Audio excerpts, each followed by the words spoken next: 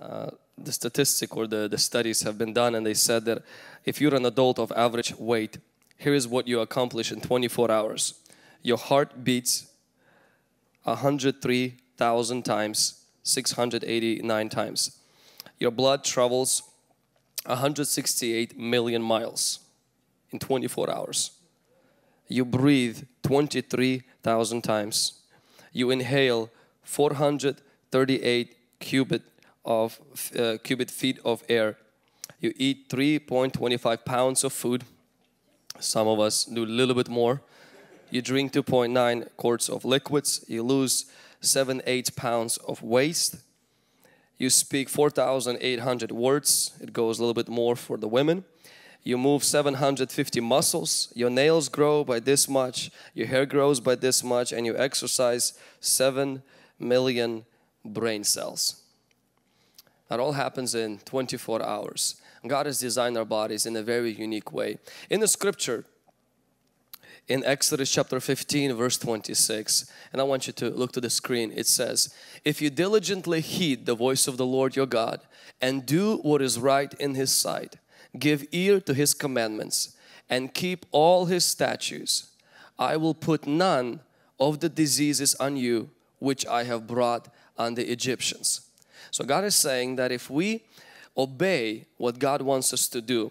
Now for the nation of Israel, obedience to God did not just mean moral things. It not, did not just mean, you know, not to get drunk, not to commit adultery, but a lot of the things in the Old Testament included also the, the diet laws. There were certain things like they were not allowed to eat pork. And God was saying, if you obey my statutes, He says, you won't get sick. Now we all understand that we live in a broken world. Even if, if you obey God, that you're still able to catch a flu and everything. And that's where God ends that in case you do, for I am the Lord who heals you. And I want us to understand that divine healing and divine health are equally important. Divine health is as important as divine healing. And that scripture tells us that God is the healer. But it also tells us that if we listen and live a life by certain guidelines, we can prevent sickness and disease to happen in our life. And both as the trainer and the doctor have told us today that it's actually proven today by, by studies, it's proven today by the medicine that if you live a life in the way that God wants you to live, you will prevent certain diseases that you will not need healing. But even if you will need healing, we have God who heals us. Healing is divine, but health is our obedience. Health is our discipline. Health is based on our choices. In Solomon, uh, King Solomon said in Proverbs, he says that wisdom has built her house and she has established seven pillars. And most of you will agree, and I think the doctor will agree as well. There's, there's about, uh, I think they have five pillars of health. The first one is to drink water. And the reason why is because you know our body is 70 or more less uh, percent of water. Our lungs are 90% of water. Our brain is 95% of water. Our skin is 80% of water. Our bones are 20%, 20%, uh, 24% of water. Our muscle are 75% of water and our blood is 85% water. It's very interesting that our Lord Jesus Christ doesn't call himself great coke or great juice. He is the living water. Your body is made out of water and when you give it water it replenishes itself. I'm going to be the first one to admit uh, this is one of those things that did not come naturally and did not come good for me. I dislike water. I think it tastes pointless. There's no like if I have water I have to have something in it but that changed some time ago. When I heard a story of another minister who mentioned that uh, this minister went to the doctor and the doctor told this minister how much water they drink. You know they recommend 8 by 8 so 8 uh, cups of 8 ounces a day or taking your weight divided by 2 that's how many ounces you should drink. And the doctor asked her uh, do you drink that much water? She says no I don't drink water at all and I don't want to drink water. And he used the illustration to her that helped her and it helped me.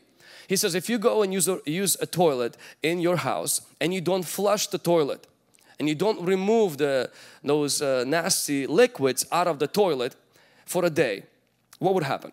She says, well the house, the bathroom will stink.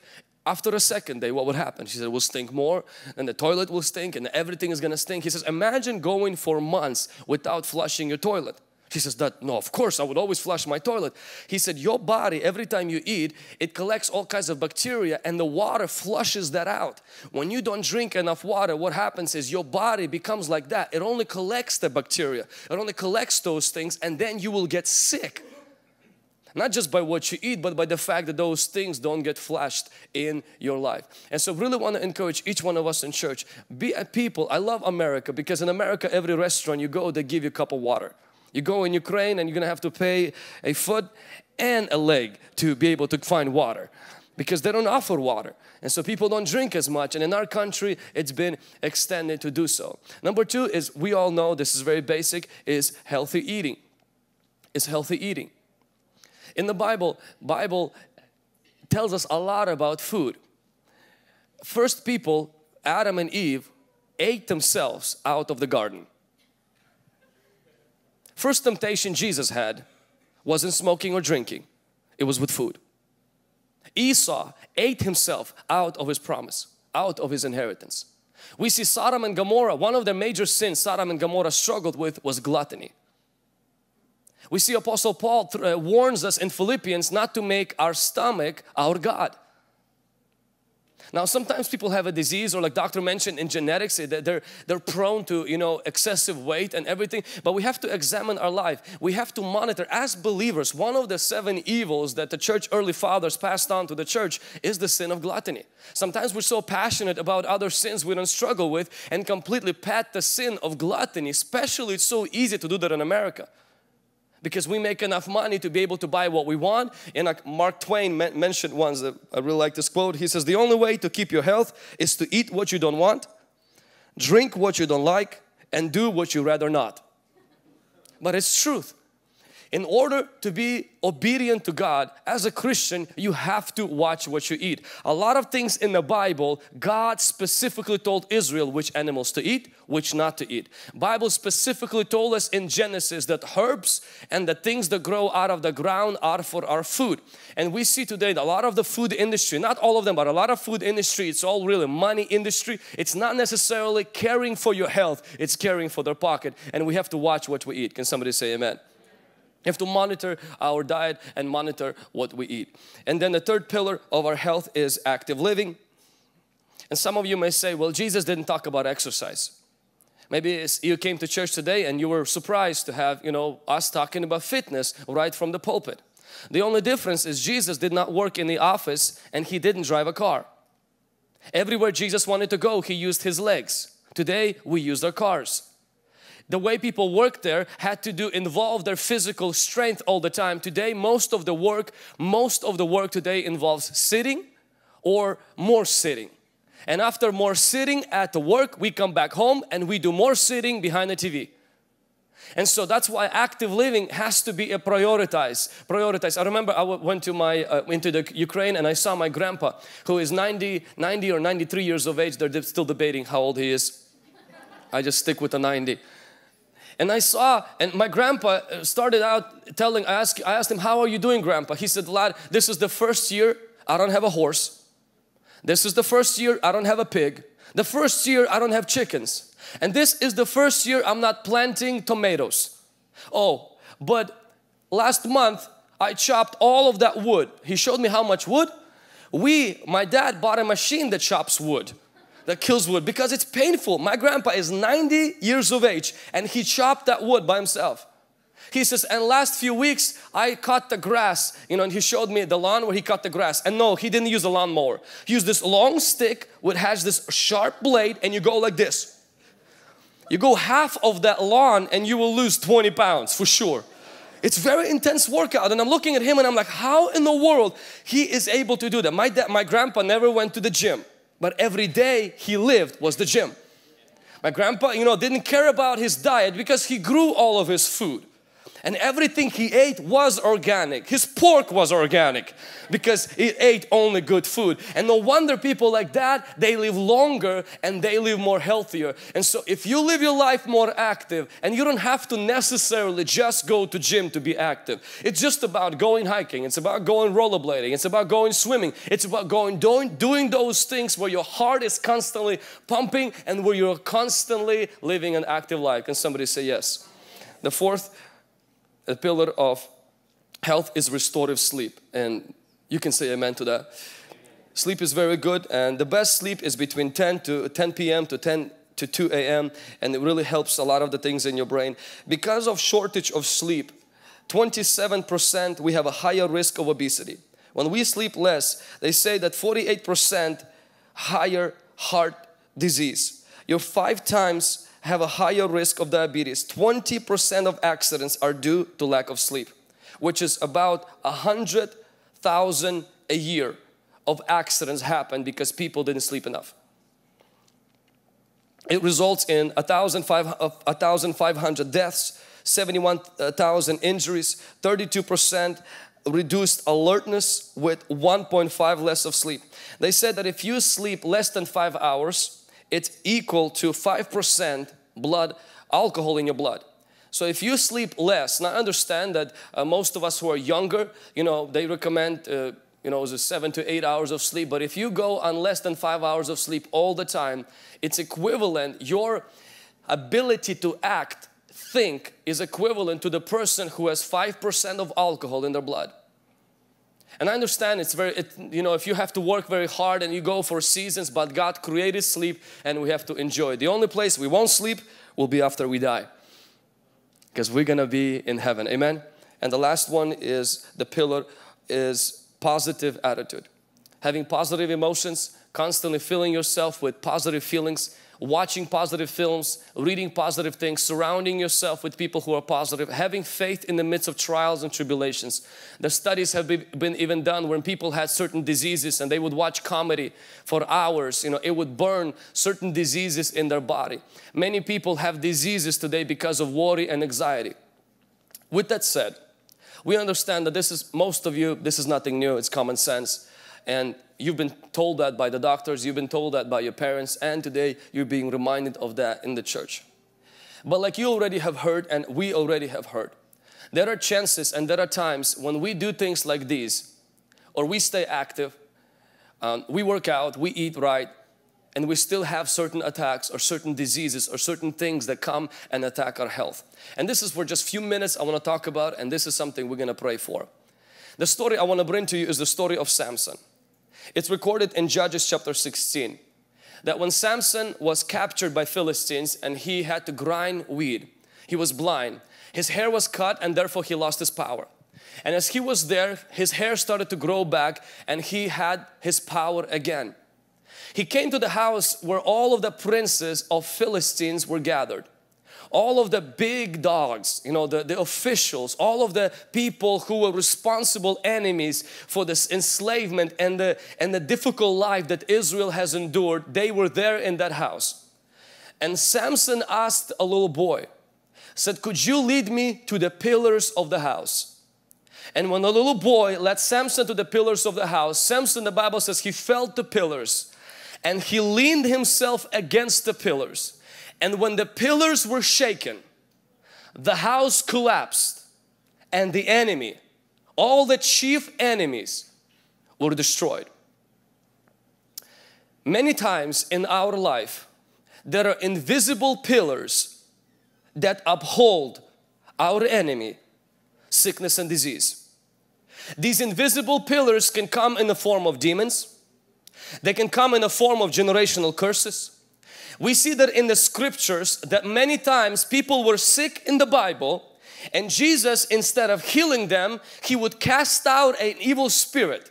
He would destroy the pillar. For example, one woman was coming to church, to a synagogue for 18 years and the scripture says that she was bent for 18 years. Most likely she's been to the best doctors but because she had a spiritual problem, Jesus Christ through the power of the Holy Spirit pushed the spiritual pillars in her life by delivering her, by casting out the spirit of infirmity. And the Bible says she was made straight. When the enemies were defeated, she regained her health. We see that in Apostle Peter's mother-in-law. She was sick with fever. Now we all get sick with fever. We all catch fever. But Jesus comes to his mother-in-law and instead of laying his hands and healing her, the Bible says that he rebuked fever. The word rebuke there is the same word that is mentioned when Jesus faced a demon possessed man in the synagogue and rebuked a demon. That means behind that fever, it wasn't just a cold that she caught. It was a demonic attack on her health. We as Christians believe we are responsible to God to live our responsible life in our health. But there is one more aspect of health that we have to address and that is in the spiritual world there are pillars many times that hold sickness and disease. And you can attack one disease and attack one sickness but if those pillars are intact they keep the house alive. But today I have to tell you about a friend that we all have his name is the Holy Spirit. Samson's had Samson had hair. The Holy Spirit has power. And if we, the lads, if we are those little children today, that the Holy Spirit comes into our life and the Bible says if the Spirit of Him who raised Christ from the dead lives within us, He is there to give life to our mortal body. The Holy Spirit does not just come to stand by the pillars, by the problems, spiritual problems in our physical health. He is asking you today, lead me to the pillars and let's push them apart. The Holy Spirit wants to destroy the spiritual forces that are affecting our physical health. The Holy Spirit is not just here to tickle us and just to make us cry. He is not just here to make us just feel better about ourselves. He is a spiritual force and He is very powerful and wants to destroy other spiritual forces. We've seen countless times when a man who came Three, four years ago he had leukemia. He was diagnosed for over a year and a half of leukemia. His insurance would spend a $7,000 every single month on the medications. He already wasn't able to work. He worked in one of the best restaurants in his town.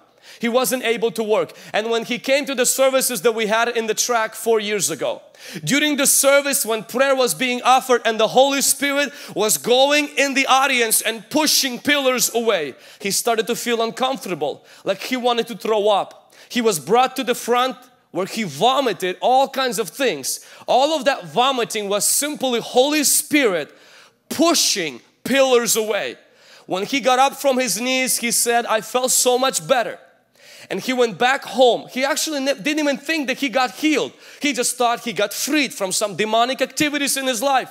As he went back to the doctor, the doctor examined his blood and found out he was a hundred percent cure of leukemia. He came back to our church, brought his medical report and it's four years and this young man, Nabil, is completely free from every trace of leukemia in his body.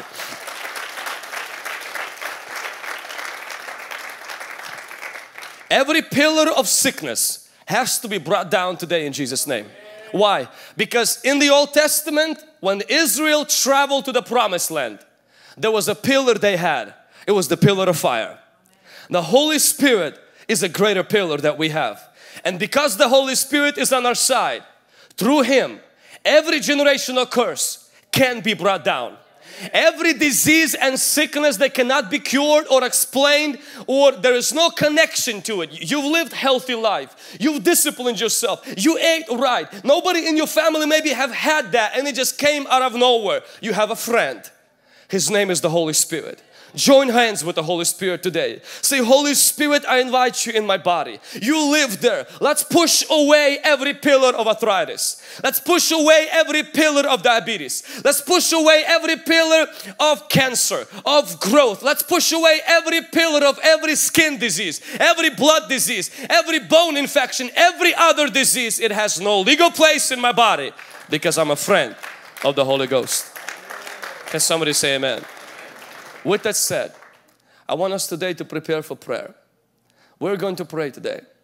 And the prayer that we're going to offer today, together with the Holy Spirit, I want you to imagine in your mind right now, you're not alone.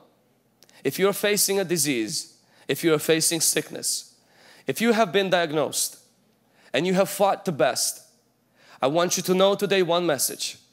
You are not alone. The Holy Spirit is with you and He wants to fight with you. He wants you to hold His hand. If you are believing for someone's healing, I want you to remember you're not alone. The power that heals, it's not the preacher. It's not a certain charm, it's not a certain chant, it's not a certain word or certain phrase. It's a person and His name is the Holy Spirit. And He will do what diet cannot do. He will do what doctors cannot do. He will do what fitness cannot do. He can help us in the areas we are completely helpless. Just a few years ago, th three years ago, there was a mother that came, a mother and a father that came with their child from Olympia. They had a, he had asthma for over six years. And he was already been, been diagnosed and, and they just said there's nothing we can do. The best professionals, they took him to the best professionals because the father himself was a doctor. And he was completely helpless. And when he came to receive prayer, during the prayer, we were not just praying God heal him. We were praying to break every chain of the enemy. And these prayers may seem just charismatic. Some people may seem like, oh, these just young rustic boys running around here screaming, they don't know what they're screaming about. Yes, to the, to the extent we might not know what's going on in the spiritual world, but the Holy Spirit used, Samson used the little boy and the Holy Spirit uses me and you. He uses your prayer and my prayer to push away the pillars. When that prayer was being offered, I remember because I was praying for that young man right here on this side. Curly hair. I actually thought it was a girl. So when I was praying, I said, Lord God, heal this girl. I didn't know it was a young man, not a, not a girl. Nevertheless, in our lack of understanding, God still used our prayer. Six months later, we received a message from that family that ever since that prayer, the little boy was no longer needing any other equipment to help him breathe. It's been now three years and they come every single year to our service just to give glory to God. And they were completely completely experienced a miracle in their family. Let's put our hands together for Jesus Christ. Less than six months after the boy's healing the mother was diagnosed with tuberculosis. She was already placed in a different housing. She lost her job. And she, most of you remember those of you who were here about two and a half years ago when she came she even had a covering over her mouth. And she came with faith. She says, the same Holy Spirit that defeated the spiritual forces in the life of my son, He can help me. He says, I'm seeking the best physicians and I'm seeking the best therapy, but I also know Jesus is the greatest physician. He is the best doctor. And I came to an appointment with Him. And when prayer was being offered, spiritual forces were pushed down. She went back home. Her recovery became miraculous. She recovered in two weeks out of that disease. In a month or so, she was released back, got a clean bill of health. Now she's working and TB is no longer part of her health. To God be the glory. I ask you that today we agree together to bring down every pillar of the enemy and establish our health in Jesus name. Do you receive it today in Jesus name?